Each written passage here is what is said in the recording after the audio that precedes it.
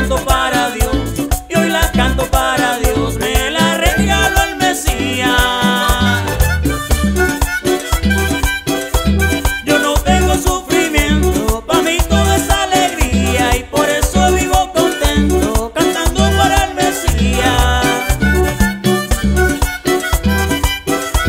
Yo no